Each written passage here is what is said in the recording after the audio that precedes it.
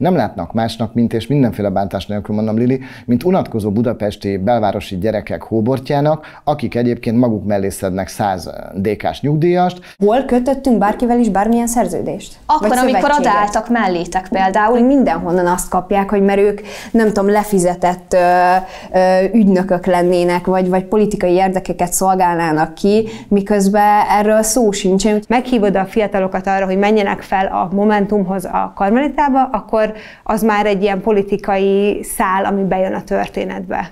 És ezzel mi a baj? Hát semmi, csak hogy akkor utána meg nem mond, hogy nincsen ennek semmilyen politikai színezete. Nem, mert hogy... hogy soha nem mondtam, hogy nincs politikai színezete. Meg mindenhonnan azt kapják, hogy mert ők nem tudom, lefizetett ö, ö, ügynökök lennének, vagy, vagy politikai érdekeket szolgálnának ki, miközben erről szó sincsen. A tanár hibája, Orbán Viktor hibája, a Forgács István hibája, hogy egyébként a szülőrészegen lekever két pofont.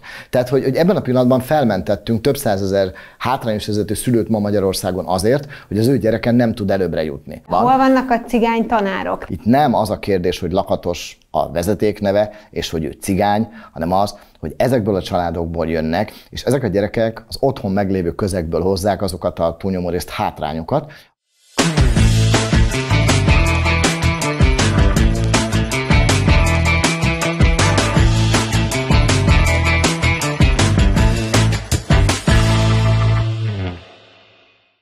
Nagy szeretettel köszöntök mindenkit a Nyílt Sisak legújabb adásában, Intik Vicki Dóra vagyok. Ma szó lesz arról, hogy hogyan lehet az oktatásban változást elérni, mennyire célra vezető például az alternatív oktatási népszavazás, a tüntetések, vagy éppen a kordonbontás. Illetve szó lesz még a szegregáció ellenes törvényjavaslatról is. A mai vendégeim pedig Pankotai Lili aktivista, Köszönöm szépen a meghívást. Forgács István felzárkózás politikai szakértő, Köszönöm, hogy itt lehetek. Vince Emília újságíró, Sziasztok! és Kónya Dorka, a 64 Vármegye ifjúsági mozgalom szóvivője. Üdvözlök mindenkit! Hát akkor én is köszönöm szépen mindenkinek. Kezdjük akkor az alternatív oktatási népszavazási kampányjal. Itt ugye az a cél, hogy legalább 200 ezeren vegyenek részt a népszavazáson, és hogy a kormányra nyomást tudjanak gyakorolni a közoktatásban tapasztalható anomália, anomáliák miatt. Ugye előzménye ennek, hogy a Nemzeti Választási Iroda nem hitelesítette egyik kérdést sem, amit a diákok és a tanárok írtak össze, ugye az oktatásról, és és akkor ennek kapcsán próbálkoznak ezzel. Mennyire lehet ez hatékony, men- mennyire lehet így nyomást gyakorolni? Lili? Hú, hát onnantól kezdve, hogy nincsenek megadva akár azokat, azok a források, vagy az a struktúra, amivel egy ilyen népszavazást leszoktak folytatni maga a kormány, onnantól kezdve már nem egy hiteles eredmény fog születni ebből az egészből. Rengeteg helyre nem fog eljutni, rengeteg ember nem fog tudni úgy informálódni, ahogy kéne, sok városban nem is jut el szerintem ez az egész, nép, egész alternatív népszavazás, szóval innentől kezdve Uh, nyilvánvalóan az ötlet az jó, és úgy gondolom, hogy alapvetően helye lenne, és uh, ezerszer uh, fontosabb téma, mint az elmúlt években amik, azok a népszavazások, amik meg meg is történtek, és nem volt lényegében tartalmuk. Hát ennek lenne, de nem véletlenül utasították el szerintem. Én viszont ott kezdek egy nagyon erőset. Én, aki ezért nézek tévét, hallgatok rádiót, olvasok újságot, még én magam sem tudom, hogy egyébként ez a népszavazás mennyire eldöntendő kérdéseket próbál feszegetni. Tehát ha általában véve egy Budapesten élő közülettel foglalkozó ember sem nagyon látja át azt, hogy egy ilyen népszavazás valójában mire céloz, akkor azt gondolom, hogy Budapestről távolabb lehet, ez még nehezebben vihető az emberekkel. Nem tudom, ti mennyire vagytok azzal tisztában, hogy... Hogy mik a kérdések? Igen, miről szól? Tehát, hogy... Mondjon le Pinter Sándor, ez az első pont. Tehát ez- ez a legelső? Tehát egy hát vagy nem tudom, hogy megvan-e itt a- az összes. Én itt van, fel tudom olvasni. Akkor Szerintem- ez- ez szerintem segíteni fog. Igen, rendben. Egyetérte ön azzal, hogy a magyar kormány alakítson ki olyan kereteket, amely minden gyermek számára biztosítja a modern, esélyteremtő oktatást. Ez az első. A második egyetérte ön azzal, hogy széles körű egyeztetés után alkossanak az oktatásba dolgozók és a gyermekek érdekeit szolgáló szabályozást a tá- státusztörvény helyett. Egyetérte ön azzal, hogy a magyar kormány állítson fel az oktatás teljes egészéért illetékes, felelős és önálló oktatási minisztériumot. Egyetérte ön azzal, hogy a magyar kormány adjon azonnali minimum 50%-os béremelést, béremelést a pedagógusoknak. Egyetérte ön azzal, hogy állítsák vissza a pedagógusok valódi sztrájkjogát. Egyetérte ön azzal, hogy az óvoda és az iskola közösségének legyen valós ö, beleszólás beleszólása az igazgató kiválasztásába. Egyetértő ön azzal, hogy Pintér Sándor belügyminiszter nem alkalmas a köznevelésért felelős miniszteri tisztségéért. Bujkál bennem a kisördög, meg kell kérdezni, nem te ott voltál, Lili, amikor összerakták ezeket a kérdéseket? Nem, én se a szervezésbe, és ez egy ilyen nagyon nagy fals info, amit, amit így mindenhol tolnak. Én soha nem voltam benne egy tüntetésnek se a szervezésébe, lebonyolításába.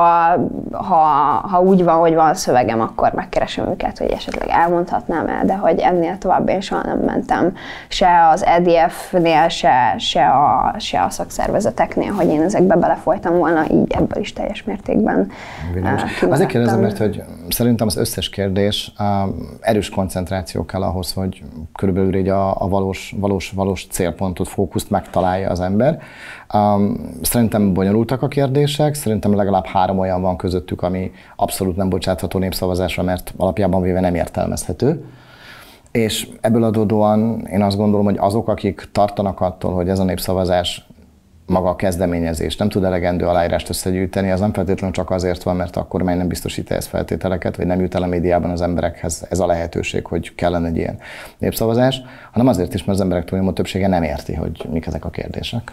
Tehát, hogy, bocsánat, csak tehát, hogy szerintem ezek a témák, amik itt szóba kerülnek, ezekről egyébként még azt is emelem képzelni, hogy akár még az oktatási kormányzat is bármikor leül és egyeztet, beszél, elmondja a véleményét, de én nekem nagyon-nagyon általánosak ezek a kérdések. Nyilván az, hogy alkalmas a belügyminiszter erre a posztra vagy sem, az nyilván meg túlságosan leegyszerűsíti ezt az egészet.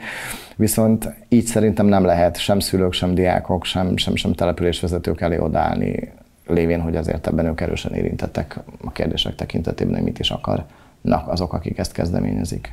És akkor hogy lehetne szerintem? Hát én nem tudom, a Timit láttam. Nekem, nekem, én azért is rögtön ezzel kezdtem, hogy a mondja le Pintér Sándor. Most ez, nagy, ez tényleg nagyon leegyszerűsítve, bár én az összeszedett pontokban először még így olvastam, hogy szerintem Egyébként alapvetően... én is, én is úgy olvastam. Igen, tehát mint hogyha még ez lett volna az, az eredeti, de hogy, tehát, hogy amikor szeretnének a tanárok vagy a pedagógusok képviselői párbeszédet indítani, akkor szerintem az egy nagyon rossz taktika, hogy már nem először történik meg az, hogy szerencsétlen Pintér Sándor már, nem tudom, már mindennek elhorták meg az összes tüntetésen, hogyha csak belehallgatunk, hogy hogyan zajlik, most, most nem tudom, hogy mennyire lehet káromkodni ebben a műsorban, de hogy azért olyan nagyon szép mondatokat nem nagyon intéztetek hozzá még, és hogy ilyen szempontból egy kicsit nehéz az, hogy akkor hogyan fog a kormány egyáltalán leülni, tárgyalni. Hogyha az az egyik kérdés, hogy az, e- a kormányzatnak az egyik szereplőjét le kéne váltani. Tehát, hogy, hogy szerintem, szerintem ezek elviszik a fókuszt az esetleg olyan kérdésekről, amiknek talán lenne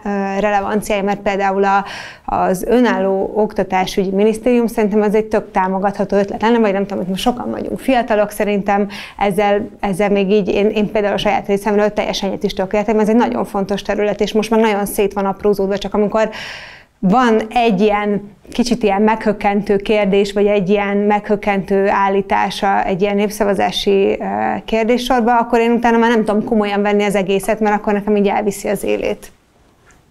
Hát nekem egy kicsit ilyen bővebb válaszom van erre, erre a névszavazási kérvényre, ugyanis én onnan közelíteném meg a dolgot, hogy még mielőtt meglennék azzal gyanúsítva, hogy nem értek egyet a pedagógus tüntetésekkel, vagy a pedagógus helyzettel, amivel egyértelműen egyetértek, ugyanis pedagógus hallgató vagyok jelenleg az egyetemen, és ettől az évtől én már órákat is tartok középiskolás gyerekeknek, illetve aktívan részt veszek több helyszínen és több formában is az ifjúságnevelésben, tehát abszolút támogatója vagyok a pedagógus kérdésnek, és úgy gondolom, hogy ez vitán felüli, és mindannyian ebben egyet tudunk érteni, hogy ma a pedagógus helyzet Magyarországon felháborító, és ezzel valamit kezdenünk kell.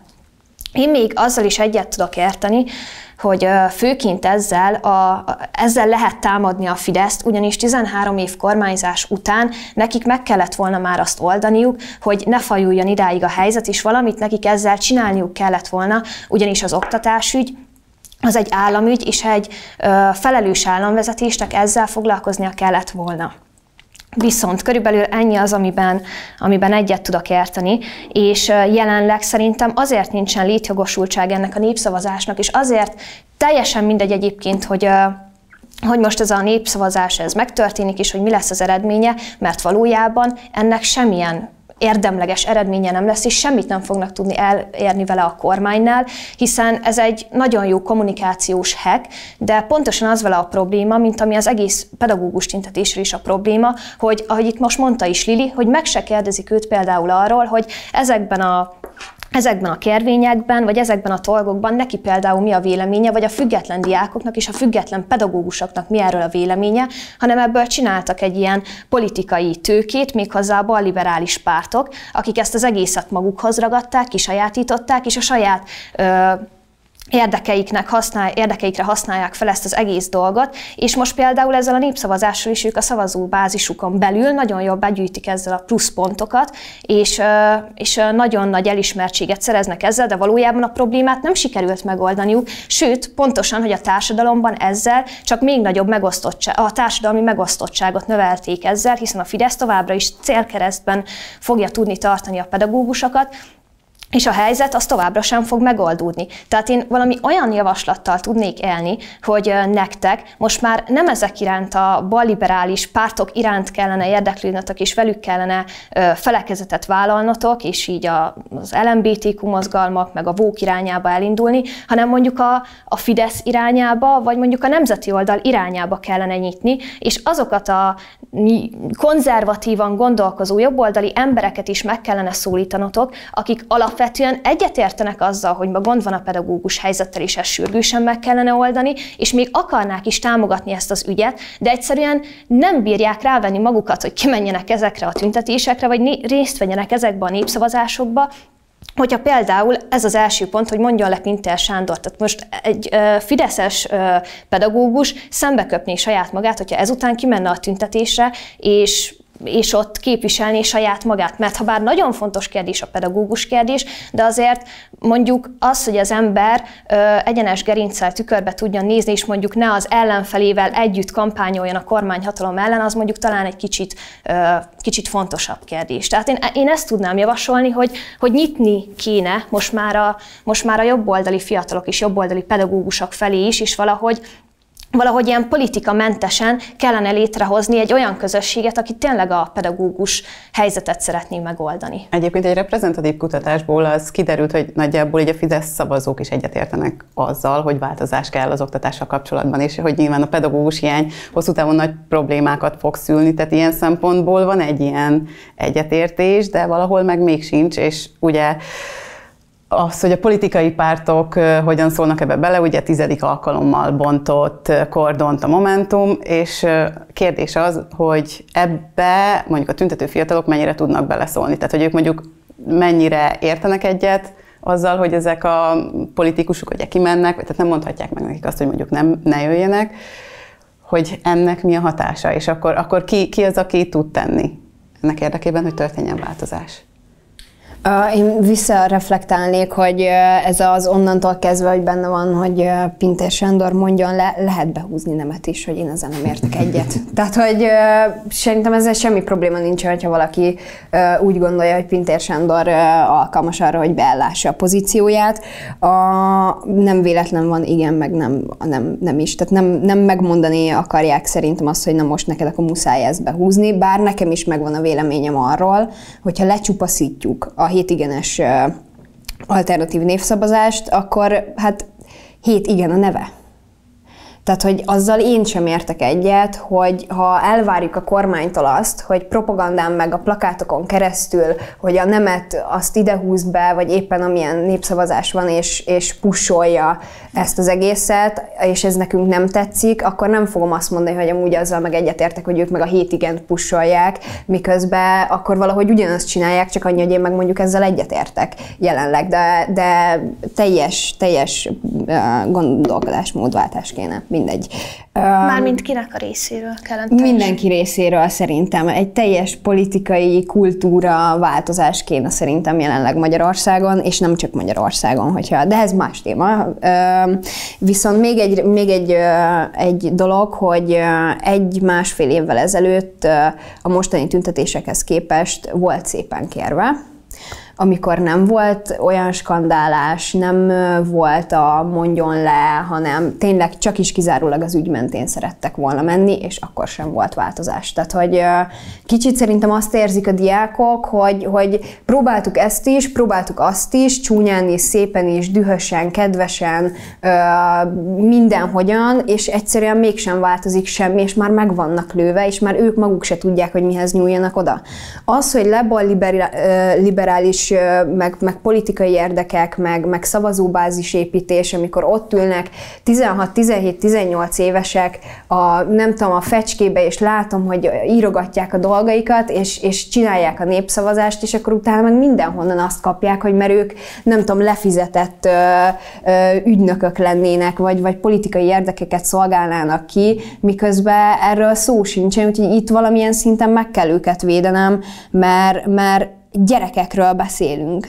De ne haragudj, én, én nem azt mondtam, hogy a te ö, közösséged, vagy ezek a diákok, azok, akik ezekbe a liberális pártokba becsatlakoztak, az számomra teljesen Akkor egyértelmű, hogy ezek a pártok csatlakoztak a ti oldalatok, oldalatok tokra, és ők sajátították ki ezt az egész témát, és ők használnak feltiteket ehhez mind, mindehez a kérdéshez. Tehát én nem azt mondtam, hogy ti voltatok azok, akik őket megkerestétek, azonban nem távolodtatok el tőlük, és most ezért van például az, hogy a nyilvánosság teljesen összemost titeket, és teljesen úgy gondolja, hogy azok a fiatalok, akik ott vannak, azok egy az egyben baloldali fiatalok. Mert erről nektek kellett volna gondoskodnotok, hogy itt ne legyen ebből pártpolitikai ügykérdés, hanem itt kifejezetten a pedagógusok és a diákok legyenek középpontban, is kifejezetten ti érvényesüljetek. De hát most mondtad, hogy te meg se lettél erről a népszavazásról. Hát, mert, mert, mert, mert egy diák vagyok a, a többi közül. Az, hogy én, mert ne, nem, nem vagyok a, a szervezésnek a tagja. Hát de ez a probléma. Tehát, ez a probléma, hogy a baloldal szervezi nem, az egészet. De nem akarok, mert nem akarok szervezni. Tehát, hogy nem azért nem lettem erről megkérdezve. Hát de akkor rájuk hajod az egészet, illetve nagyon fontos dolog, itt szerintem van egy totális félreértés ebben az egész dologban, és azért örülök, hogy uh, erről most itt tudunk beszélni. Uh, nagyon sarkos lesz, amit mondok és ezt senki ne vegyen nagyon személyesnek. Szerintem van 200 lelkes uh, ifjúságpolitikáért tenni akaró javarészt budapesti aktivista, akiknek egy részének van balliberális ellenzéki pártokhoz jobb-rosszabb bármilyen kötődése. El lehet menni Brüsszelbe, lehet fotózkodni Szabó Timivel, mert hogy ennek a 200 lelkes budapesti ifjúságpolitikai aktivistának van a másik oldalon 200 pártagsággal együtt olyan politikus támogatója, akik egyébként szeretnék ezt a 200 fiatalt valahol maguk környékére összegerebjézni, ez innentől 400 ember, és ha ehhez még sikerül 6-800 az Orbán kormány ellen bármikor az utcára hozható embert összeszedni, akkor van 1000-1200 ember, akivel ki lehet menni az alagútba kiabálni. Ez Gyakorlatilag ennyi történik, és ehhez föl lehet pakolni egyébként fóliázott könyveket témaként, föl lehet hozni egyébként egy rakás olyan dolgot, amit az elmúlt 13 évben gyakorlatilag ez a, ez is így mondom, katyvasz szívesen tűz a zászlajára, és ezek folyamatosan vissza-vissza-vissza hozhatók, amelyekben nyilván időjárás függő a dolog, mert amikor tél van, akkor egyébként online lehet tüntetni, amikor nyár van, akkor ki lehet menni kicsit piknikezni is, de az egészben kicsit az hiányzik, és ez az, amit az ellenzéki oldal, ez az, amit a kormány, ez, ez az, amit az ellenzők, vagy ez az, amit a kormánypárt, vagy sok esetben a kormánypárttal szimpatizáló milliók nem látnak másnak, mint és mindenféle bántás nélkül mondom, Lili, mint unatkozó budapesti belvárosi gyerekek hóbortjának, akik egyébként maguk mellé szednek 100 DK-s nyugdíjast, meg 100 embert a párbeszédből, meg az egyéb kisebb pártokból, és egyébként ők ilyen formában megtöltik tartalommal a péntek délelőttjeiket. Itt jön az a kérdés, kimegye bárki Nyírbátorba, és megkérdezi a Nyírbátorban a 3000 cigányt, akik ott élnek, hogy na, nektek mit jelent az esélyteremtő oktatás? Ti mit akartok, ti mit gondoltok, ti hogy álltok ez a dologhoz? Megkérdezi bárki Nyírbátorban a matematika tanárnőt, hogy Mari néni, maga szerint hogy kéne esélyteremtő oktatást csinálni? És itt az előbb is, még egyszer a fecskét említed, ott ülnek a diákok, írják a, a, a röpiratot, egyebek, hihetetlenül távol állnak ezek a dolgok egymástól, és utána kimenni a nyilvánosság elé, és azt mondani, hogy esélyteremtő oktatást akarunk ma Magyarországon a szegény sorsú fiataloknak, akkor az azért nem hiteles, mert azok, akik ezügyben felszólalnak, azok nem látják ezeket a fiatalokat, fogalmuk sincs róluk.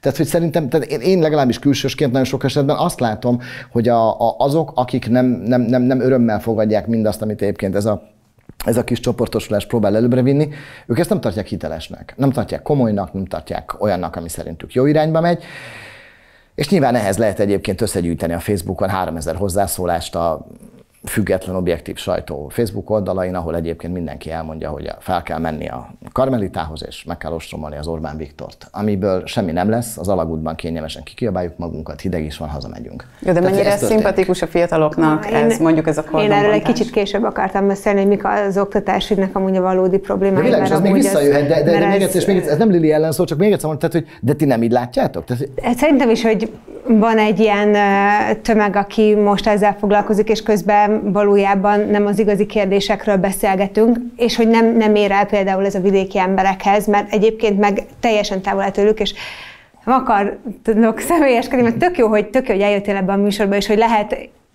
tőled kérdezni, vagy hogy így most így rázúdítjuk ezt az egészet, mert már kicsit úgy érzem, hogy mindannyian nagyon feléd vagyunk fordulva, de hogy alapvetően azt mondod, hogy nem veszel részt a szervezésbe, ez, én ezt el is hiszem egyébként, mert, mert miért, miért hazudnál erről, de hogy alapvetően téged az ellenzéki média, vagy a független média egy nagyon komoly véleményvezérnek állított be, akár akaratodon kívül is. Tehát, hogy innentől kezdve, amikor te mondasz valamit, és egy megafonba azt mondod bele, hogy gyertek fel a, a karmelitába, és bontsuk le a kordont a Momentummal, akkor az, egy, az egy, egyszerűen egy fontos megszólalás lesz, és akkor menni fognak a fiatalok is, mert lehet, hogy akaratodon kívül, de téged megválasztottak erre a feladatra, hogy nem tudom, valahogy egy kicsit ilyen véleményvezérük lettél. És hogyha meg már belevisszük a kordonbontást, mert hogy ez volt amúgy a téma, akkor, ja, igen, akkor, akkor nézzük meg, hogy, és itt kell egyetérteni Dorkával, hogy amúgy alapvetően, hogyha megnézzük azt a 10 pontot, vagy mennyit akar kitűzni a Momentum folyamatosan a karmelitára, meg odaadni Orbán Viktornak, egyik sem szól az oktatásról. Az utolsó pontban egy picit van egy ilyen minimális arról, hogy a fiatalok jövőjéről, meg nem tudom, milyen zöld jövőről, mert ezt is megnéztem, hogy mi az a 10 pont, amit a Momentum olyan nagyon el szeretne jutatni Orbán Viktornak, és hát egyszerűen nincsen sem, tehát hogy valójában ők nem azzal foglalkoznak, amilyen kérdéseket itt most felolvastál a népszavazási tervezetben, hanem egyszerűen tök, tök más, tehát a saját, a saját politikai termékükkel. És szerintem ez a rossz, hogy, hogy nem kéne belevonni az ellenzéki pártokat ebben, mert akkor el fogja vinni a fókuszt arról, amiről majd még amúgy később fogunk beszélni, hogy milyen fontos hibák is vannak még az oktatásban. De te kritizáltad is nemrég az ellenzéki pártokat egy nyilatkozatodban. I- igen, hát igen, ezt tartom mai napig. Azért, mert esetlegesen vagy nem kerül oda, nem kérdeznek róla bármi ilyesmi, mindenki felé nagy kritikám van, és ezt tartom is, hogy, hogy nem, nem oldalfüggő az, hogy, hogy, hogy én esetekben bizonyos dolgokról mit gondolok. Viszont szerintem, amit a, a Momentum és Hatházi Ákos folyamatosan kitűz a, a, a karmelitához, az, az egy teljesen más célja van. Annak is nincs köze az oktatáshoz. Persze, mert nem ez a célja, amit éppen akkor ott csinálnak. De a 0-24-ben nekik se szólhat a, az oktatás ügye mellett való kiállás, de előtte az volt a, a, az érv, hogy mer, hogy rácsimpaszkodnak a politikusok az oktatás ügyére, de most meg az, hogy nem tették bele az oktatás ügyét. Tehát, hogy most nem tudom, hogy álljanak ki az oktatás ügye mellett, vagy ne? Hát álljanak ki, de úgy álljanak ki, hogy olyan törvényjavaslatokkal, meg olyan módszerekkel, meg olyan ötletekkel álljanak ki, amit mondjuk a Fidesz fel tud használni, és alapul tud venni, és el tudja fogadtatni a parlamentben például, és utána azt tudják alkalmazni. De az ellenoldal csak azért elmellétek, mert nekik ez egy nagyon jó politikai fogás, és ők ezzel szavazatokat tudnak szerezni. Például lehet, hogy a te társaságodból is ők már a következő szavazati idejükre szerzik a szavazókat maguk mellé, mert ti majd már lehet, hogy rájuk fogtok szavazni. De ténylegesen nem állnak mellétek. Tehát pont ezt mondom, hogy nektek az olyan ö, fiatalok, meg az olyan pedagógusok irányába kellene nyitni, akik valójában a pedagógus ügyel értenek egyet, viszont nem szeretnének ebből politikai tőkét kovácsolni maguknak, mint például a Momentum, vagy a DK, akiket most megmondom, hogy leszarják, hogy te mit szeretnél, meg hogy mit szeretnének a diákok, nekik ez egyszerűen hasznukra válik, amit csinálnak, és valójában nem akarnak jobbat a pedagógusoknak. Miért rosszabbat akarnak? Nem, nem akarnak rosszabbat, de, de nem azért állnak mellétek, mert a pedagógusoknak akarnak jót. Nyilván szeretnék, hogyha jobbat el tudnátok érni, de azért szeretnék ezt, mert akkor az nekik plusz pont. Én inkább azt gondolom, hogy ez hogy egyik párt sem tudja kiállítani a saját maga pankotai liliét, ebből adódóan roppant egyszerű mindenkinek egy kicsit magához rángatni, hogy akkor, és akkor ebben megint az van, Lili, hogy, és még egyszer mondom, nem atyáskodom, meg nem ilyen okoskodom próbálom ezt elvezetni, csak amikor én azt olvasom, hogy hogy ellenzéki fiatalok Strasbourgban elmondták, hogy egyébként Magyarországon milyen rémes viszonyok vannak, és akkor uniós képviselők meg ott így rémüldöztek, hogy úristen, mi van Magyarországon, utána hazajön három fiatal, akiket kiutaztatott akármelyik ellenzéki párt három napra Brüsszelbe, azért, hogy abban a szép épületben elmondják a sirámaikat, elnézést direkt fogalmazok így, akkor az úgy tűnik, mintha valós politikai tevékenység lenne, miközben meg semmi. Tehát, hogy, hogy sehova nem visz. Tehát, hogy, hogy, hogy ez egy hétig hír, vagy három napig, vagy öt napig, de valójában senki nem fog emlékezni senkire, és ha te nem szlemmelsz úgy, ahogyan, azokkal a szavakkal, azokkal a mondatokkal, ha te nem teszed azt, amit, akkor egyébként te is egy lennél azok közül a lelkes fiatalok közül, akikre egyébként holnap-holnap után az a valós választói többség, amelyikre egyébként ezeknek a pártoknak szükségük van, emlékezne. Ezt rosszul gondolom? Tehát, hogy, hogy a pártoknak valójában saját pankotai lilikre lenne szükségük, akik egyébként az adott pártot képviselik. De egyik pártnak sincs saját alternatív oktatási törvénye. Van? Nincs. Rossz a 16 év, úristen, rossz a 16 év. Mi van helyette? Azt nem tudjuk, de rossz a 16 év. Tehát, hogy, hogy, nagy, tehát, hogy, a, ebben nem vagyok biztos, lehet, a, és nem, nem néztem meg, de mintha, mint emlékeznék valamire, hogy mintha a Momentumnak lenne valami teljes oktatási reform csomagja, vagy legyen. valami El is küldték a saját levelező csoportjukban 2640 embernek, én is megkaptam. De, de túl ezen, tehát hogy, hogy valójában nekem arra lenne szükségem, Lili, még egyszer elmondom, hogy akkor tudok egymás mellé tenni dolgokat, ha azt érzem, azt látom, tehát hogy erős, amit mondok, de lózunk jellegű az, hogy esélyteremtő legyen a magyar oktatás. Visszakérdez valaki. Évi 70 milliárd forint közétkeztetésre, óvodától általános iskola végéig a leghátrányosabb helyzetű gyerekeknek, az nem esélyteremtő oktatási elem? Um, well, igen, de egyébként meg jelen pillanatban oszt ki a kormány bármilyen hetedikes és tizedik osztályos gyereknek közoktatásban, gimnázium és általános iskola, ingyen notebookot, a digitális lehetőségek fejlesztése érdekében ez nem esélyteremtést szolgál. Tehát, hogy, hogy akkor, amikor bedobjuk azt, hogy legyen esélyteremtő oktatás, oké, okay, a kormány idehoz 18 pontot, amiben ő azt mondja, hogy nem írom az égre, de itt van, amiben én az esélyteremtést látom. Ha erre a másik oldalon az van, hogy jaj, de szegény kis cigánygyerekből nem lesz más csak cipész meg közmunkás, akkor a két dolog egyáltalán nem, nem releváns egymással, mert az ellenzéki oldalon is másnak tűnik az esélyteremtő oktatáshoz szükséges feltételteremtés, meg a kormány részéről is teljesen más. És ezek nem, nem találkoznak, nem lehet egymásra helyezni Elnézést, én még a, a kordonmontással kapcsolatban, mert ugye ez volt a fő felvetés, még mindenképpen el szeretném mondani, hogy de hogy félreértés ne esik nekem egyébként a tüntetésekkel, illetve a, egy adott esetben egy adott kordon elbontásával aztán főleg semmi gondom nincsen, hiszen én abból a közegből jövök, ahol a legtöbb bajtási és baráti kapcsolatot a könygáz felhőben szívva alakították ki a barátaim és a bajtársaim. Nyilván nem én, mert én akkor még mondjuk az óvodában tevékenykedtem, de a tőlem 7-8 évvel idősebbek is az a fölötti korosztályok bizony 2006-ban, amikor az akkori kormány ellen vonultak ki, ők pontosan ö, egy ugyanilyen helyzetben voltak, ahol az akkori rendőrség velük szembe aztán tényleg olyan ö, terrort alkalmazott, hogy mondjuk nem csak a szószólókat emelték ki, mint most tőletek, és lefújták őket gásprével is, és ugye ti is pénzbírságot kaptatok, feloszlatták a tömeget, stb. Viszont ott kifejezetten mindenkit ö, gumilövedékkel lőttek, többeknek kilőtték a szemét, gumibottal szétverték, a menekülő embereket lóhátról, kardéllel ö, verték és üldözték, órákon át hallgatták ki, börtönbüntetésre ítélték, és most a, hogyha ennél a témához is visszakapcsolok, amit az előbb mondtunk neked, hogy a Momentum most például bármit megadna azért, hogy ti legalább ennyire legyetek megverve, és ő most ugyanennyire tudjon hisztizni azért, hogy a Fidesz az is ugyanazt csinálja, amit az akkori hatalom csinált. És ebben egyébként csak az a, az ilyen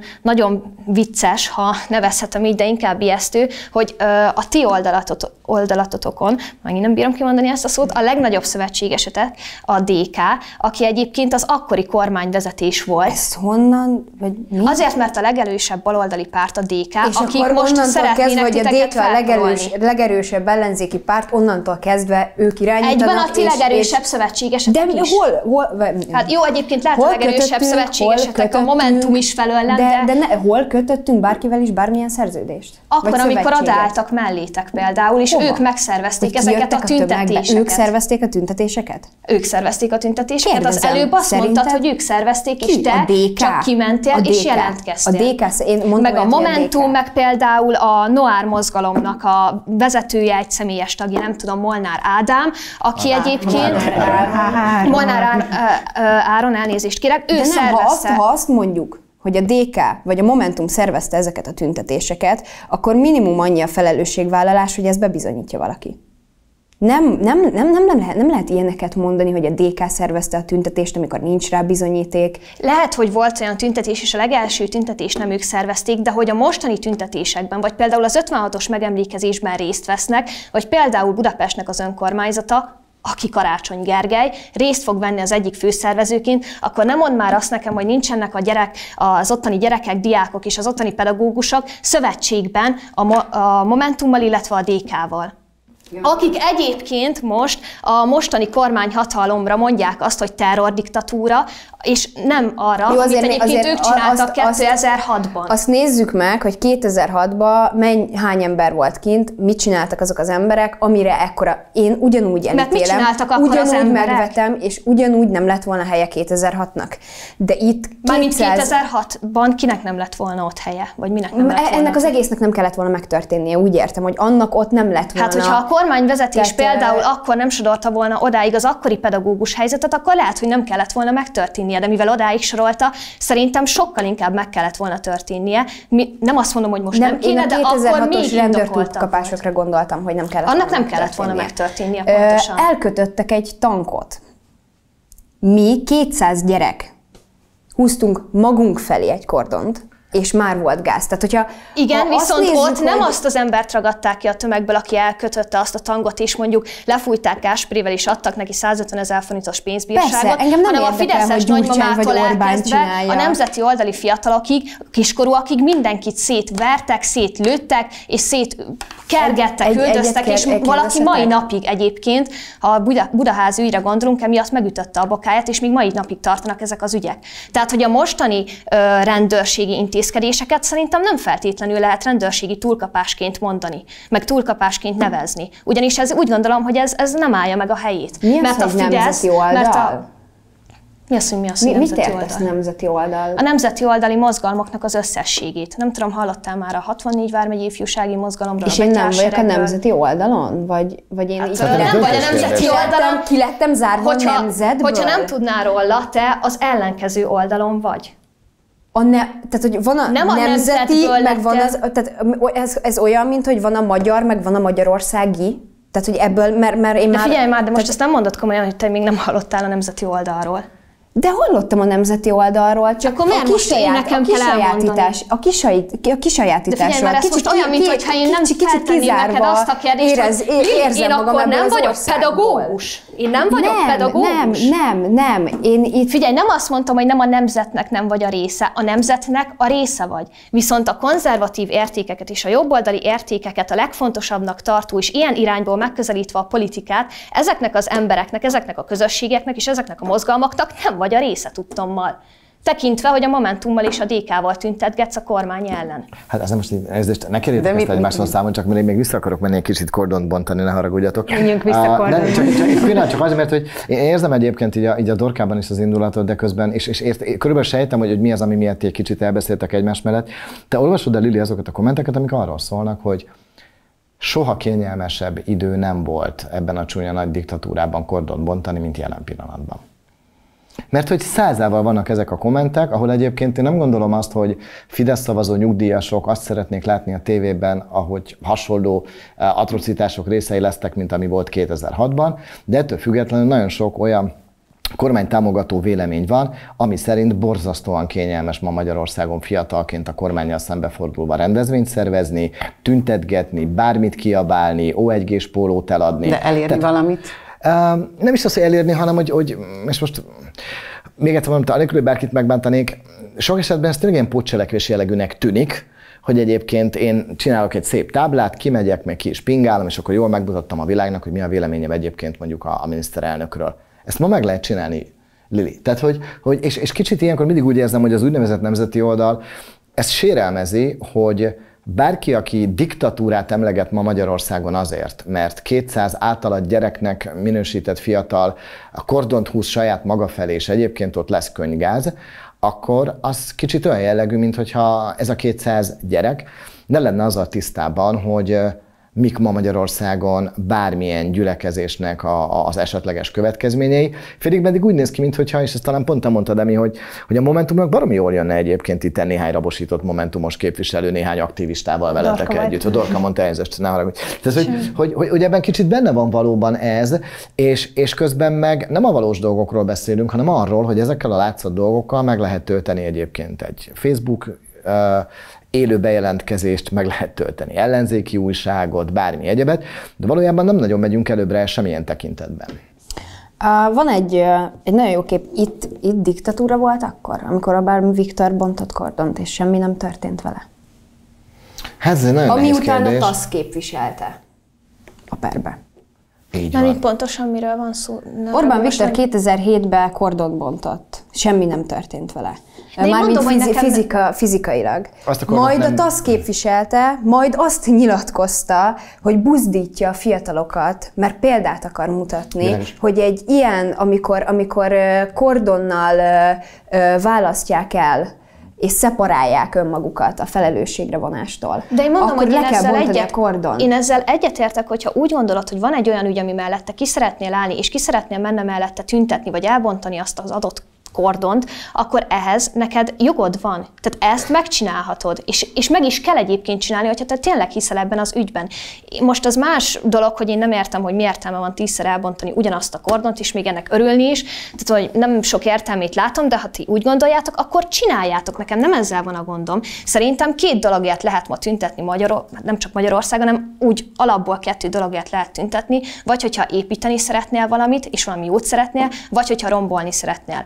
Amit én az előbb felhoztam 2006-os eseményt, én akkor azt azért hoztam fel, mert akkor egy elnyomó rendszerrel szemben építő jellegű kritikával és, és a javulás szolgával léptek fel az akkori tüntetők, és most így szintén egyébként egy jogos ügy miatt tüntettek egy valamelyest szintén elnyomó hatalommal szemben, csak azt nem veszitek észre, hogy emellett becsempésztek olyan ö, káros dolgokat, ami ezerszer károsabb, mint mondjuk a mostani vezetés. De akkor hogyan lenne értelme ezeknek az egész, az egész tüntetés sorozatnak? Ugye október 23-án lesz megint egy tüntetés, ahol ugye valóban Karácsony Gergely is fel fog szólalni, illetve tehát, hogy a fővárosi önkormányzat, a tanítanék mozgalom, és még igen, igen és, és még egy csomó uh, civil szervezet, de hogy akkor hogyan lehetne jól csinálni? Ugye mondtátok azt, hogy, hogy akkor ki kellene hátrálni a politikai pártok mögül, de közben akkor hogyan, tehát, hogy hogyan lehetne akár mondjuk jól csinálni ezeket a tüntetéseket, mert azért láttunk például Franciaországban és Szerbiában példákat arra, hogy azért a tüntetéseknek tud lenni ereje.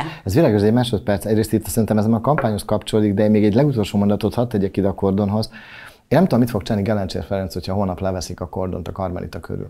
Tehát, hogy akkor mi fog történni? Tehát, hogy, Pontosan, mert ennek az a célja, hogy folyamatosan terítéken legyen tartva a Így van, téma. tehát hogy, hogy Igen. igazából akkor, akkor lenne kiüresedett ez a dolog azonnal, hogyha egyébként lebontanák a kordont a Karmelita körül, és akkor Gerencsér Ferenc oda megy kordont, bont, kordont és azt látja, hogy nincs itt, amit lebontson. Na, 200 lelkes fiatal, mit csináljunk? Hát a Basti ostromát mégsem fogják ott megtenni. Tehát, hogy mm, azt gondolom, hogy onnantól fogva, hogy nincs mit kockázat és tét nélkül lebontani, onnantól fogva gyakorlatilag az egész teljes mérték kikürésedik. Maradva még ennél, hogy Orbánék mit bontottak 2007-ben, a parlament körül volt egy kordon. Onnantól fogva, hogy ők ezt lebontották, az égvilágon semmi nem történt, nem építették vissza.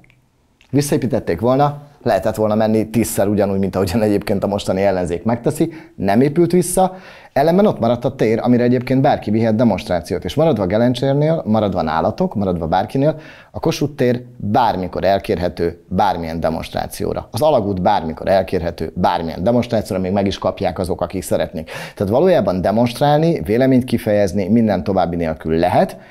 Céltalan, menjünk fel a várba, és történjen valami rendezvényeket csinálni a Safety Pro Gimi diákjainak, az meg azt gondolom, hogy most arra körülbelül tényleg elfáradt, és nincs semmi értelme. A másik kérdés még az, hogy a fiatalok rendszerváltást, vagy a rendszeren belüli változást szeretnének. Hát szerintem azzal, hogy például mondjon le pintesen, nem akarom már mindig visszakanyarodni, de hogy szerintem ez egy egyértelmű üzenet például arra, hogy a kormány változtassa meg az összetétét, ergo mondjon le a kormánynak egy képviselője, legyen másik kormány. Tehát hogy szerintem ez egyértelműen azt jelenti, hogy akkor ez egy bukjon meg ez a kormány, és olyan helyette valami más. Tehát szerintem például a tanártüntetések nem azt szeretnék, hogy a, a már most már ott tartunk, hogy megváltozzon ezen a rendszeren belül valami, hanem hogy ennek a rendszernek legyen vége, és akkor legyenek, nem tudom, új választások, vagy valami. Ez viszont meg már egyértelműen egy politikai, nem tudom, ilyen aktor mögötte, szóval, hogy egy, egy ilyen politikai akarat van mögötte, tehát hogyha ők ezt, ezzel a rendszerrel nincsenek megelégedve, ezzel a kormányzattal, ezzel a kormánytaggal nincsenek megelégedve,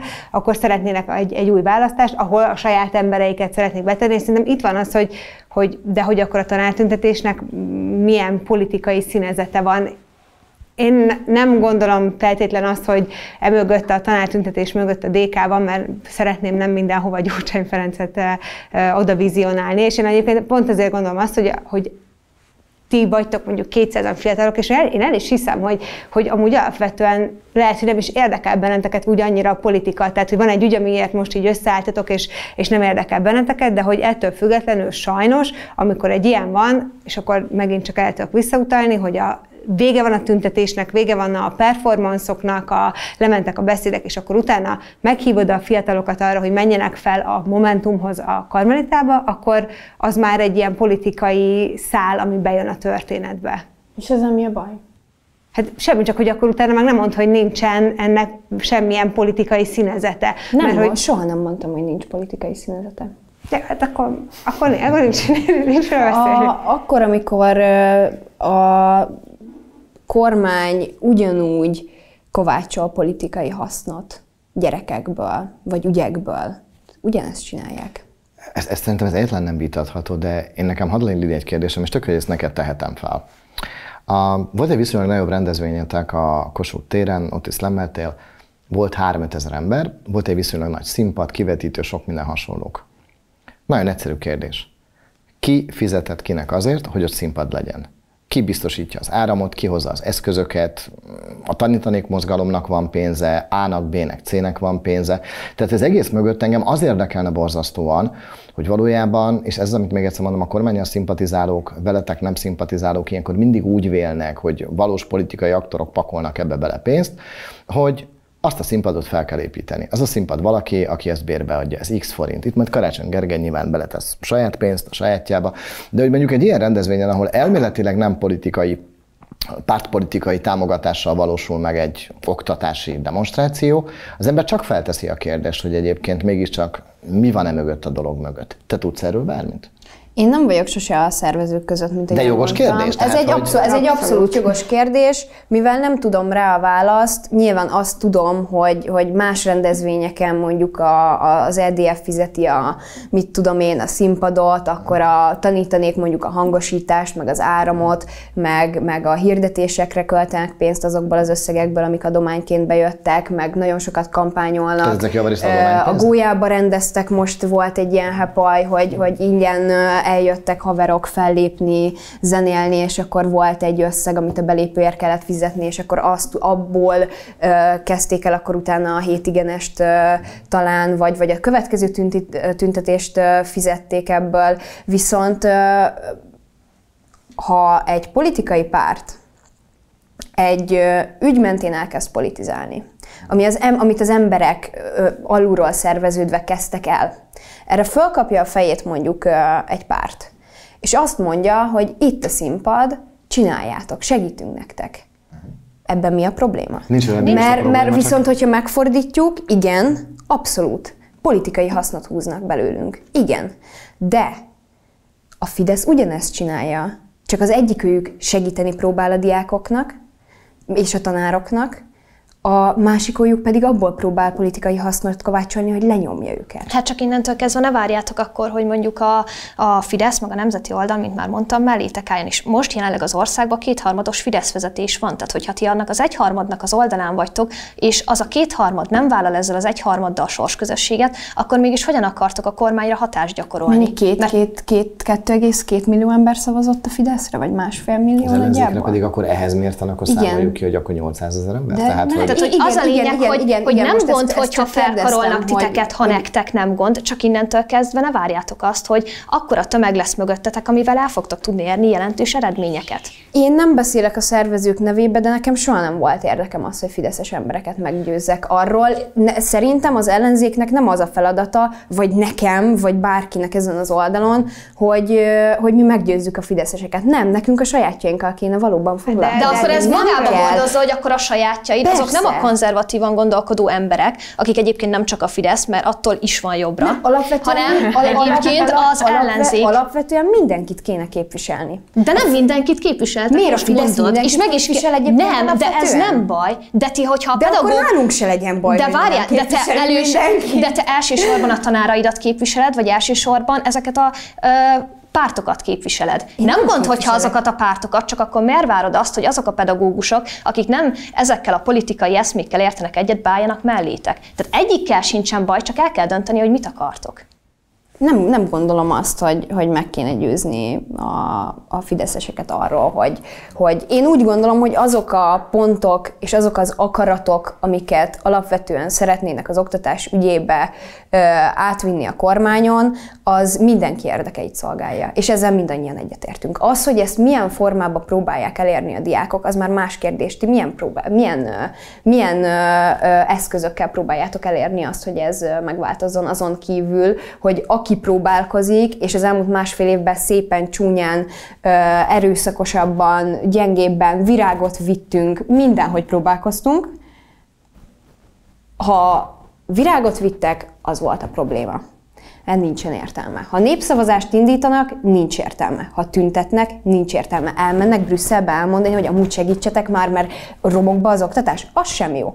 Tehát, hogy, hogy azt érzem, mint hogyha lenne, lenne egy, egy, egy oldal, akinek a vezetőinek minden eszközük megvan ahhoz, hogy helyre tudják hozni az oktatást, és ülnek, Mint ahogy pár és évvel ezelőtt kritizálják- azoknak is megvolt, akik most a ti oldalatokon állnak, és azok sem tették ezt 13 meg. évvel ezelőtt, és engem nem érdekel, hogy mi volt 13 évvel ezelőtt, mert én azt akarom, hogy most legyen jó.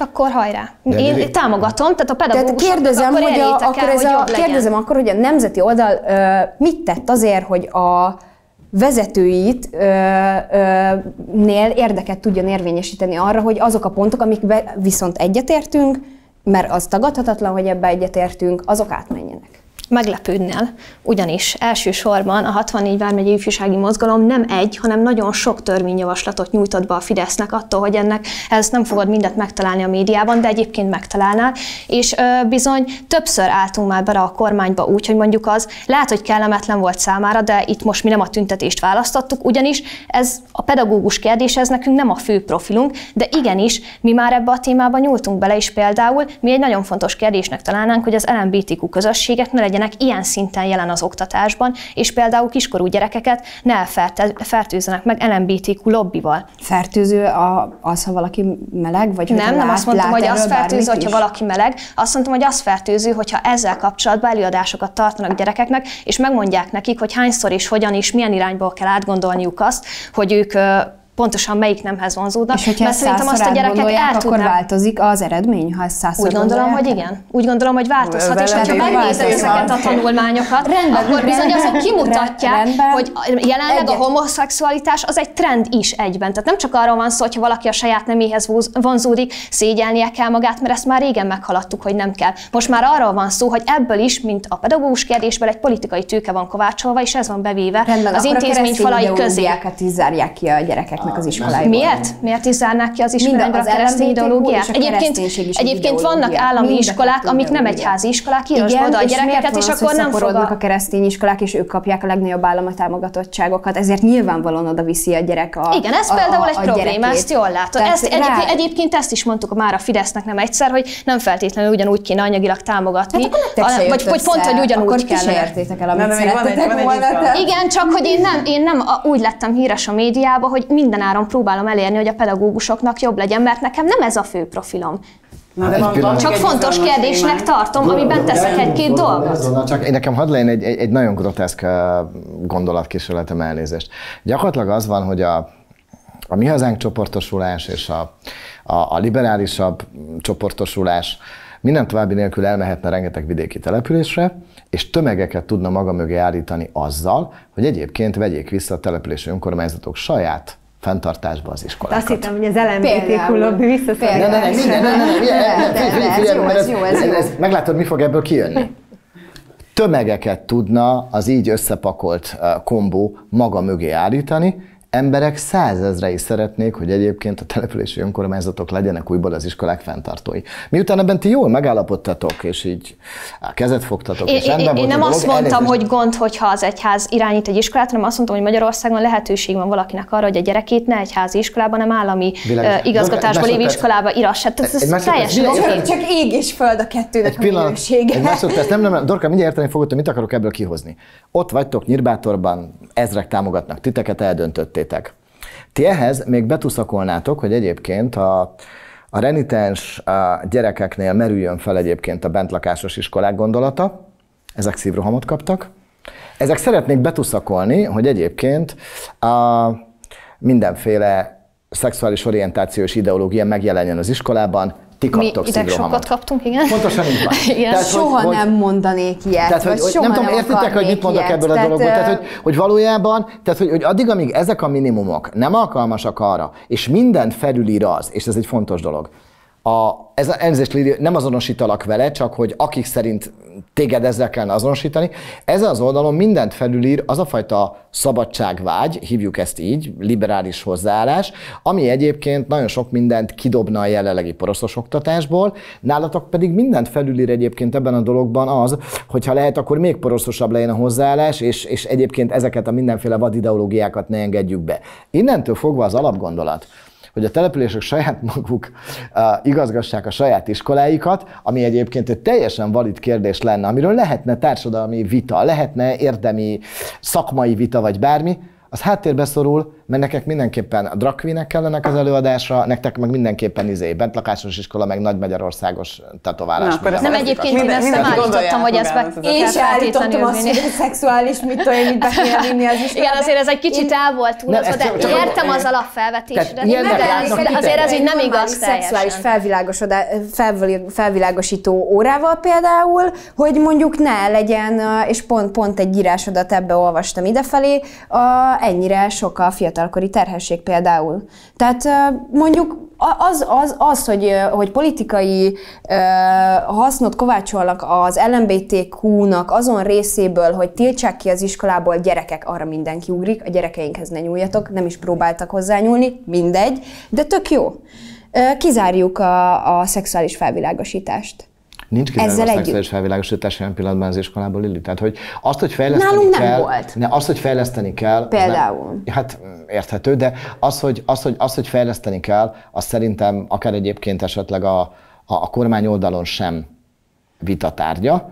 Igazából azt keresgéljük, hogy ebben a dologban itt százféle vihar jön innen is, onnan is, mindenhonnan, hogy éppenséggel mit, mikor, hol, hogyan fejleszt a kormány, az nyilván az ő saját felelőssége. Ha ebben kellően elégedetlenek lesznek a népek, akkor annak majd azt gondolom hangot is fognak tudni adni, de jelen pillanatban nem adnak. Néhány ezer ember akar bent Ez tényleg, tényleg remek téma, majd ezt, ezt legközelebb még kibeszéljük, de még van egy integráció, szegregáció témánk, ugye sokat volt már szó Pintér Sándorról is, aki szegregáció ellenes törvényjavaslatot nyújtott be, vagyis pontosabban a köznevelés területén alkalmazandó diszkrimináció ellenes intézkedésekről szóló törvényjavaslatot. Mennyire van ennek létjogosultsága? Nagyon sokszor ugye a szegregáció az egy ilyen szitok szó, mennyire lehet jó az integráció, mennyire lehet jó a szegregáció, és még csak egy érdekesség, hogy Gulyás Gergely nemrég az egyik kormányinfón azt mondta, hogy integrációs problémák sajnos vannak, ahol több a cigány gyermek, ott rosszabbak az eredmények.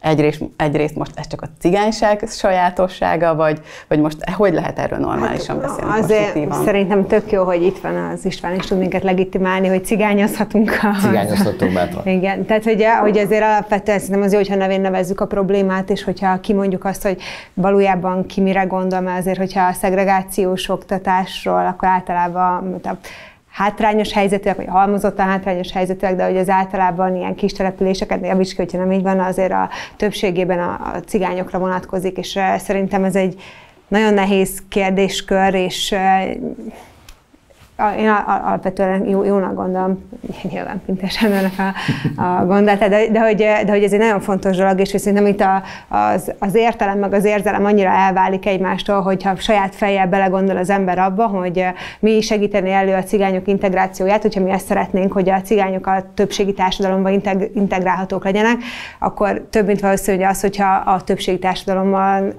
együtt járhatnak iskolába, és nincsenek szegregálva, nincsenek elküldve bentlakásos iskolába, iskolába, vagy nincsenek kiemelve, miközben egyébként alapvetően szerintem az nem lenne egy olyan nagyon ördögtől való gondolat, de hogy, hogy értelemmel ezt belátja az ember, hogy ne legyen, ne legyen szegregáció, meg a szegregáció ellenség, de ha megkérdezel bárkit szerintem Borsodba egy e, magyar családot, hogy szeretné hogy a gyereke cigányok közé járjon iskolába, akkor szerintem tízből kilenc azt fogja mondani, hogy nem. És szerintem itt egy ilyen tök nagy eltérés van, és egy ilyen probléma, amit e, a kormánynak igyekeznie kéne megoldani, és nagyon nagy lemaradásban van ebben e, a magyar kormány, és akár az előző kormányzatok is tehettek volna bőven bőven, bőven lépéseket azért, hogy egy kicsit közeledjen itt a, a, a vagy közeledjenek az álláspontok, és szerintem, szerintem van, van feladata ebben a kérdéskörben a magyar kormányok. Szóval ilyen szempontból én kritikával állok nagyon a, a kormány viszont, felé. Viszont én viszont ki egészíteném azzal, hogy számomra a szegregációs kérdésnél nem csak a, a,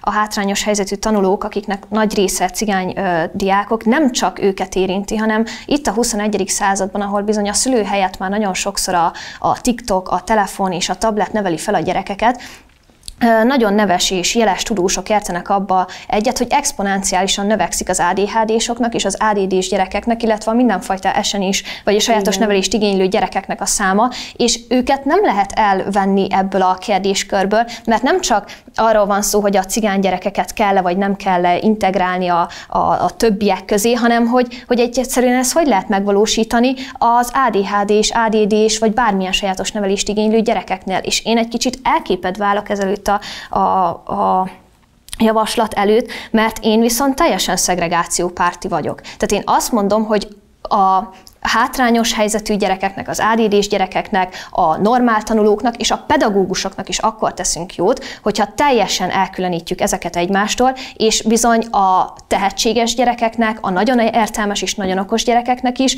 lehetőséget nyújtunk arra, hogy hagy haladjanak és hagy fejlődjenek a saját tempójukba, mert ehhez joguk van, és a hátrányos helyzetű gyerekeknek, vagy a sajátos nevelést igénylő gyerekeknek is hozzájuk igazítva, hozzájuk mérten a saját tempójukban, a nekik legmegfelelőbb pedagógussal, ugyanis én attól, hogy mondjuk majd fogok kapni pedagógus diplomát, nem érzem magam feljogosítva arra, hogy egy autista vagy egy ADD-s gyerekkel lehet, vagy lehet, hogy fogok tudni kezdeni valamit, de nem értek hozzá, és nem is szeretnék feltétlenül vele foglalkozni, mert akkor, mint nagyon sok barátom és barátnőm, gyógypedagógusnak mentem volna. De én teljesen más irányból szeretném megközelíteni a fiatalokat, és én nem gondolom úgy, hogy 30 osztályban, amikor ilyen különböző tehetségű és különböző problémákkal küzdő gyerekek össze vannak engedve nagy létszámban, akkor én az, ott annak ura tudnék lenni annak a helyzetnek. Tehát én azt mondom, hogy 7-8, maximum 13-14 fős csoportokba értelmi alapon szét kell választani a gyerekeket, és a nekik legmegfelelőbb oktatást és nevelést kell nyújtani, ami egyébként egy, akkor is meg fog valósulni, hogyha itt most álmodozunk az integrált oktatásról, akkor is automatikusan ki fog alakulni ez a szegregáció, amit nagyon sok iskola ki is alakít, például a csoportbontásokkal, mert látják a pedagógusok és látják a tanárok, hogy ez így nem működik, és az érettségi tantárgyakból bizony szétszedik ők maguk a csoportokat, és, és maguktól fog ez így kialakulni. És én szerintem a hátrányos helyzetű gyerekek sem érzik jól magukat, akkor, hogyha be vannak rakva olyan gyerekek közé, akikkel ő nem, ő nem tud azonosulni, vagy akikkel egyszerűen nem egyenlő családi háttérrel jön, és mondjuk olyan ruhába, vagy ül ott, vagy olyan gondokkal foglalkozik tanóra alatt, amit a többi nem ért meg, és amiben a pedagógus neki nem tud segíteni. Igen, van egy, van egy, van egy ilyen, ilyen mondás, hogy ne a lányodnak tanítson védelmet, hanem a fiadat taníts meg viselkedni. Na most, hogyha ezt átfordítjuk, nyilván nem erről van most szó, nem gondolom azt, hogy, hogy, hogy szegregálni kéne bármi. Nyilván az, ami, ami a gyereknek olyan szempontból, hogy haladás szempontjából tényleg az esenisek és a, a, az egyéb, egyéb betegségekkel rendelkező embereknek vagy gyerekeknek jót tenne az, hogyha egyszerűen ő 20 percnél többet nem tud tanulni, akkor ne zavarja a többieket se és hasonló. Én visszatérve a törvényjavaslatra, én azt gondolom, hogy nem hinném, hogy túl sok mindent megoldana, mert ott, ahol 40 meg 30-40-en vannak egy osztályba, ott ahhoz, hogy azt a szocializációs problémákat és lemaradásokat a tanár a tanárok, a napközis tanárok és, és stb. kompenzálni tudják, annyian vannak, hogy lehet itt törvényeket hozni, hogy hány, hány cigány lehet egy osztályban, meg hány nem, meg milyen százalék arányos legyen, csak éppen rohadtul semmit De szerintem ér. ezt nem lehet faj alapon eldönteni. Én, én ezt abszolút értelmi alapon, és mind a diákoknak a, a családi hátterét, az értelmi képességét figyelembe véve tenni. Tehát az a helyzet, hogy a szegregáció alatt mindenki megijed, hogy most mi itt visszamegyünk a történelemben, és akkor faj alapon fogjuk szegregálni a diákokat, miközben erről szó sincs. A napjainkban is nagyon jó szegregációs intézmények működnek, például, hogyha a vakok iskolájára, a süketek iskolájára, az autisták iskolájára gondolunk. Nyilván én most nem itt arra gondolok, hogy kész, létre kell hozni egy cigányiskolát, mint mondtam, nem faj alapon képzelem el ezt, hanem értelmi alapon. Az az igazság, hogy szerintem itt a, a gyakorlat messze túlhaladja egyébként az elméletet, és ilyen formában a Momentum által kidolgozott oktatási koncepcióban is rengeteg olyan elem van, ami lila és hagymázas és nagyon kedves aranyos, de a valóságban nem létezik. Én hadd kezdem nagyon gyorsan onnan, hogy mindig, amikor is szóba kerül, hogy a finn oktatási rendszer az milyen nagyon jól néz ki, akkor még elmondom, hogy megnézném a finn oktatási rendszert, ha ráöntenék 20-25%-nyi hátrányos helyzetű gyereket. Tehát, hogy megnézném, hogy akkor egyébként mi maradna a finn oktatási rendszerből. Azt gondolom, hogy pillanatok alatt esne szét. Tehát, hogy nem ugyanaz rendőrkapitánynak lenni Ózdon, meg Hévizen. Ez Tehát, pontosan hogy egyébként... Ezt, ezt én mindig elmondom, hogy Ózdi rendőrkapitánynak lenni sokkal nagyobb kihívás, mint Hévizen rendőrkapitánynak lenni. Az Ózdi rendőrkapitány megkapja, hogy a Hévízi milyen jól dolgozik, bezzek te, akkor ez kb. ugyanez a helyzet. Tehát a finn oktatási rendszer az attól jó, hogy egyébként nincs az ország tele, idézőjelbetéve mondom tele, egy rakás hátrányos helyzetűvel. Majd lesz, és akkor utána kiderül, hogy ez hogy fog kinézni. Magyarországon olyan pillanatban az van, hogy amikor szegregációról beszélünk, akkor mindenki azt látja, hogy egyébként ott így elválasztják. Te oda mész, te oda mész, te oda, te oda. Nem. Konkrétan az van, hogy a demográfiai mutatók egész egyszerűen, évek óta mondom, egy természetes, passzív szegregáció zajlik, ahol nem szül a nem cigány szülő, de szül a cigány szülő, ott az óvodában cigány gyerekek lesznek. Pont. Ugyanezek a cigány gyerekek mennek az iskolába. Pont. Ha ezek után bármelyik brüsszeli bürokrata sikogat, hogy úristen, most olvastuk, hogy Magyarországon cigányiskolák vannak. Hát ugyanúgy, mint ahogy Molenbeekben, meg egyébként ott Brüsszel mellett meg bevándorló iskolák vannak. Azért, mert ők szülnek, azokból a családokból jönnek a gyerekek, ezek a gyerekek mennek iskolába. Tehát itt nem arról van szó, hogy egyébként itt százával, ezrével küldenék elkülönítve a gyerekeket ide meg oda, nem. Egész egyszerűen így néz ki jelen pillanatban a korfa ma Magyarországon a 14 év alatti korosztályban. Ebből adódóan az elcigányosodó iskolák egy borzasztóan természetes folyamatot jelentenek. Tehát, hogy, és itt megint, és ennek örülök, ezt kimondhatjuk, itt nem az a kérdés, hogy lakatos a vezeték neve, és hogy ő cigány, hanem az, hogy ezekből a családokból jönnek, és itt társadalmi helyzetet kell, hogy nézzünk elsősorban, meg szociokulturális közeget, ezekből a családokból jönnek javarészt az új gyerekek, és ezek a gyerekek az otthon meglévő közegből hozzák azokat a túlnyomórészt hátrányokat, amelyeknek a leküzdésére sajnos jelen pillanatban nagyon sok pedagógus nem alkalmas. Ha ebben a helyzetben bármilyen elitista szemlélet azt hozza elő, hogy jaj, az esélyteremtő oktatás, mit jelent az esélyteremtő oktatás? Tehát, hogy legyen 20 perces a tanúra, vagy ne buktassunk? Tehát a magyar bárint örökséget még mindig nem tudja kiheverni ez a szerencsétlen oktatási rendszer Magyarországon. Ezt kell mondanom ennyi idő után, sajnos, de ez de van. hol vannak a cigány tanárok? Tehát, hogy én, én ezt Tök, keresem a rendszerben. Kérdés, Tehát, tökéletes hogy... kérdés. Mert hogy, hogy én kimondottan örülnék egy rakás cigány sajnos az egyetemig sajnos. De ez döntés kérdése, ne haragudj. Szakkollégiumok vannak, ösztöndíjak vannak, egy csomó segítség van. Ha Egész ne, egyszerűen... egy, egy, Szerintem, ha olyan szintű mély szegénységből nem csak pénzügyileg, hanem szociálisan egyszerűen, ahogyan, amit lát otthon a szülőtől, Igen. és amit a szülő is látott előtte Igen. az övétől. Igen. És ez pont a, az a fajta, hát nálunk Mohácsa, megnézem, akkor a, a Baros utca alatt az, ami van, hogy teljesen egy, mintha a gettók lennének. Így van. Aha. Tehát abból a közegből ott nő fel, mindent ott tanul meg. Igen. Miből vagy hogyan kéne neki úgy tudnia dönteni, hogy én elmegyek egyetemre, és nekem tanulnom kell. Én azt gondolom, hogy... Ha, ha nincsen mögötte megfelelő tanári állomány, akik megfelelően tudják felzárkóztatni azokat, akik, akik ilyen közegből jönnek, és nem ül le vele, nem hogy matekozni otthon a szülő, hanem még lever neki kettőt, és részegen talán hazamegy hajnali ezért, ez egy ezért, ez fontos a pedagógus honnan hibája? kell, honnan kell kezdeni. Ezt, ezt értem, csak itt megint az, hogy mindig hátrább megyünk, és nem jutunk a dologban sehova se. A tanár hibája, Orbán Viktor hibája, a Forgács István hibája, hogy egyébként a szülő részegen lekever két pofont. Tehát, hogy, hogy ebben a pillanatban felmentettünk több százezer hátrányos helyzetű szülőt ma Magyarországon azért, hogy az ő gyereken nem tud előbbre jutni. Felemeljük a Persze, kezünket, és persze, azt azért mondjuk, ez hogy, hát, összetett hogy abból nehéz hogy nekik, persze nekik is van ehhez közük. Igen, Tehát csak nem, hogy nem elő ezt az elnézést, mondom. amit és most, most így távol álljon tőlem bármi egyébként, ami ilyen formában a 64-esekhez, meg így az igazi kemény vonalasokhoz kapcsolódik, de olyan az rossz az. önkéntes, az önkéntes alapú bentlakásos iskola egyébként nem egy rossz elképzelés, csak itt megint az van, hogy a ha csinálok egy Waldorf iskolát, elmegyek oda önkéntes alapon, mindenki tapsol. Fú, de modern, fú, de progresszív, fú, de nagyon jó.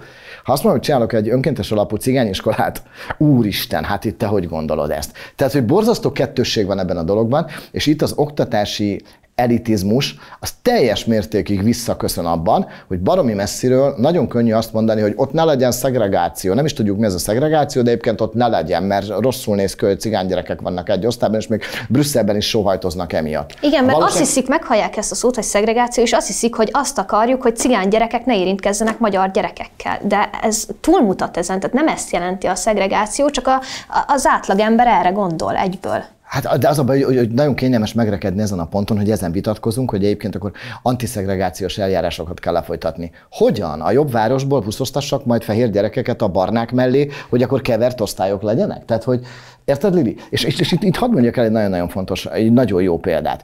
Nyíregyházán a cigánytelep mellett volt egy darab egyház által működtetett iskola, amit szerettek a szülők, szerettek a gyerekek. Kaptak egy pert a nyakukba, több kör volt, a végén döntés született, az egyház fenntartási iskolát becsukják, az ott tanuló gyerekeket a város másik felébe fogják küldeni. Azok a gyerekek, akik eddig három percet sétáltak az iskolába, védett környezetben tanultak, szerettek tanulni, azok a gyerekek elkerültek Lili egy olyan környezetbe, ahol a hátsópadba kerültek, ahol eddig senki nem cigányozta le őket, ott lecigányozták őket, Elkezdtek romlani a tanulmányi eredményeik, nem akartak oda bejárni, megjelentek magatartás problémák. És akkor abban a pillanatban akkor jót csináltunk? Tehát, hogy aki azt mondta, hogy akkor így, így erőltetett deszegregációval összekeverem őket, és akkor kiről az a gyerek, aki egyébként eddig védett Mármint környezetben volt? integrációval kevered össze őket, nem? Hát így, tehát hogy, hogy a ja, deszegregáció. igen, csak tehát, szegregáció. Így, Ja, értem, értem. tehát, hogy, tehát a szegregáció helyett Integrációra gyakorlatilag így összekeverem értem. őket. Jó, és még egyszer mondom, az a gyerek, aki eddig szeretett iskolába járni, mert az unokatestvére is ott volt, meg nem tudom én, az a gyerek most a hátsó padban ül, és egyébként verekedni fog három nap múlva, eddig soha nem volt vele magatartás probléma. Azért, mert itt végre lecigányozták, korábban soha nem volt ilyen. Tehát, hogy, és, és ebben Ez olyan, mint mikor Miskolcon azt hiszik, hogy így elmondják nekünk Belpestről, hogy ők mit hisznek, mert én egyébként Miskolcra jöttem, hogy Miskolcban meg Borsod vármegyében hogyan néz ki a helyzet, miközben egyébként mi napi szinten együtt élünk a cigányokkal, és nem azt mondom, hogy nincsen probléma, vagy nincsenek, nincsenek gondok, csak ezt sokan úgy szokták démonizálni egyébként, mint hogyha ott ilyen belháborúk zajlanának, vagy, vagy amikor megmondják nekünk Belpestre, hogy nekünk hogyan kellene magunk közé integrálni a cigányokat. Hát köszönjük szépen, velük együtt élek 23 éve. Tehát szerintem tudom, hogy hogyan kell együtt élni velük. Tehát, hogy Egyébként azt szerintem jó, hogyha van, tehát, tehát az, hogy van, van, van, van, van arra szándék és akarat, hogy a szegregációval, mint kérdéssel foglalkozó a kormány, az jó dolog. Uh, nyilván ebben vannak uniós elvárások is. Az biztos, hogy a szándékkal megtörténő szegregáció az üldözendő. A, tehát most konkrétan arra gondolok, hogy valaki etnikai alapon szándékosan szegregál, az egyértelműen üldözendő. Az, hogy a maguk természetességében zajlanak demográfiai folyamatok, és azok kihatnak az oktatásra, azon nagyon nehéz bármit kezdeni. Ha a kormányzatnak vannak elképzelései, amik egyébként próbálnak segíteni, az nem egy rossz gondolat, csak látni kell azt, hogy egyébként ez, ez mettől meddig terjed. Hát meg ebbe, most már csak ilyen, szerintem nagyon kell arra is figyelni, hogy igen, hogy meddig mehet el egy kormány, tehát hogy mi az, a, mi az, ameddig az embernek a szabadságába bele tud szólni, és igen, erőszakkal nem lehet elvinni őket. Tehát azt nem mondtam, tehát akkor már nem demokráciáról beszélünk, hogyha oda mész, és azt mondod, hogy gyere, most gyere ülj a buszba, és most elmegyünk egy másik iskolába. Szerintem akkor legalábbis rögtön fel, feljelentenének minket Brüsszelbe, és akkor még végképp nem kaptanánk meg a tanárok béremelésére fordítható forrásokat. Tehát, hogy alapvetően szerintem itt, itt, itt ez egy nagyon nagy probléma ebben, hogy meddig lehet egy demokráciába elmenni, és meddig szólhatsz bele, mert amúgy, hogyha nincs is meg bennük az igény arra, hogy ő elmenjen tanárnak, mert, mert egyszerűen miért, honnan Persze. jött volna meg az igény, akkor nem mehetek oda, és nem mondhatom azt, hogy pedig amúgy te egy tehetséges ember vagy, még hogyha lehet, hogy így is van, és gyere már be, gyere fel Pestre, és nem tudom, itt egy, itt egy jó iskola, és tanuljál. Szerintem ez rohadt nehéz kérdés. nem, um, én én egy, egyre, egyre csatlakoznék csak rá, hogy nagyon egyszerűnek látom én is a képletet, és akkor folyamatosan ilyen nyilván szükség van részletekre, meg az információkra, meg statisztikára, de mindenre, de hogyha ha nagyon-nagyon lebutítjuk és leegyszerűsítjük, akkor hogyha mint, ahogy említetted a finn iskolákba, hogy szinte nincsenek is magániskolák, és nem, nem is keresnek, hogy melyik iskolába menjen a gyerek, mert a legközelebbibe, mert mindegyik annyira egyenlő, és mindegyik esélyteremtő olyan szempontból, hogy mindegyik azon a minőségi szinten van, hogy nem kell azon aggódni. Se a menzánál, se a tananyagba, se a tanároknak a minőségébe, a tanúrák minőségébe, a mindenbe. Na most, hogyha ez meg lenne, és minden egyes iskolában meg lenne, és, mind, és ténylegesen, és én nagyon jól tudom, hogy a pedagógusoknak egy túl nagy többsége nem tanári pályára való, de felhigult a tanári társadalom. Nem is akar, egy csomó tanár nem is akar külön foglalkozni, nem is tud, de nem is akar ezekkel a problémákkal foglalkozni, mert nem a hivatását csinálja, hanem csak szimplán, tényleg, mert tényleg vannak olyan részei a tanári pályának jelenleg is, amiért könnyű elmenni tanárnak, mert legalább egy diploma, meg ott van a nyári szünet. Igen, csak Én ki az, az aki, aki odáig sülyeztette ezt a szakmát, hogy ilyen szinteken felhiguljon a tanártársadalom. Nem idő, de én a Dorkának kezdtem, hogy ő egyébként ezt jól akarja csinálni, de miatt még a Dorka esetleg ezt lezárja, még egy mondatot mondjak, a feleségem tanár. Nem csak a cigányoknál van külvárosi, tehát Pest külvárosi iskolákban deklasszálódás hanem a nem cigány gyerekek körében is egyébként bőven van. Rengeteg az elvárt szülő, rengeteg egyébként az olyan szülő, akinek szintén saját gondjai, problémái vannak, és én azt gondolom, hogy az a tanárgeneráció, amelyik egyébként bízom benne, hogy Dorka és Pendernek lesz a része, én azt gondolom, hogy, hogy szerintem itt igenis várható az, vagy akár a ti kétszázatokból jó néhányan, hogy egyébként mer érdemi felelősséget vállalni, és meg akarja mutatni, hogy ezt sokkal jobban szeretném csinálni. Akkor még az utolsó szó. Igazából csak e, már amúgy nem akartam semmit mondani, viszont most erre a zárómondatra akkor mégis, hogy igen, tehát hogy a, azt hiszem, hogy a mi generációnknak az lenne a lényege, hogy mindazon túl, hogy meglátjuk az előttünk levő generációknak a hibáit, valahogy megpróbáljuk azt jobban csinálni. Ez szerintem egy jó végszó, de egyébként már nem akartam. Igen, hát probléma az van sok, és még sok, sok minden nyitva maradt, és kíváncsi lennék például arra, hogy a hátrányos helyzetűeket akkor mégis hogyan lehet felzárkóztatni, és honnan kellene kezdeni, de ez akkor egy másik adás. Akkor visszakanyarodnánk egyébként a pedagógus problémához, a pedagógus helyzethez, már hogy nincs elég pedagógus ahhoz, hogy a szegregált oktatást meg lehessen oldani. Igen, hát addig, ameddig a 30-40 fős osztályok vannak. Igen, hát igen, mint mondtam, sok a probléma, aztán reméljük, hogy azért pozitív irányba megy a változás, és nagyon szépen köszönöm mindenkinek, hogy itt Köszönjük volt. A meghívást. Köszönjük a meghívást. És a nézőknek is köszönöm, hogy velünk tartottak, tartsanak velünk legközelebb is. Viszontlátásra!